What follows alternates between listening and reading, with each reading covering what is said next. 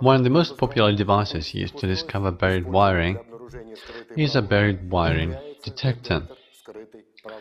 This is a very convenient device that can be applied in repairs or remodeling of living accommodations to discover, for example, buried electrical communications.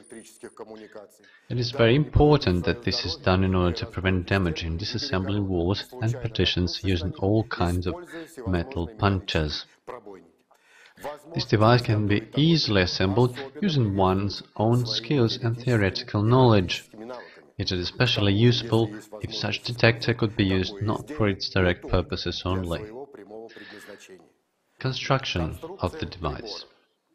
We take a small cute case, drill a hole in it, then install a diode and a step key, as well as audio input slots for a small piezo buzzer.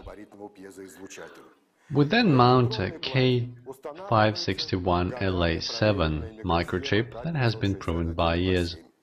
A sound radiator feedback consisting of a 4700 picofarad capacitor and a 30 kilo ohm resistor.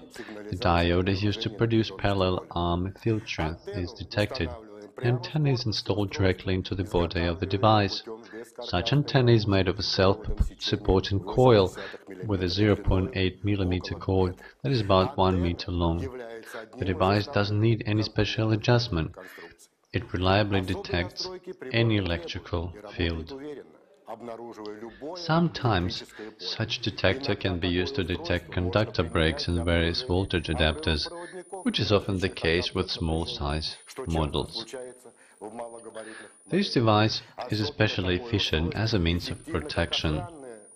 You can use it as a motion sensor that reacts to changes in the static field of the human body. The device will be able to immediately sense human motion close to your location.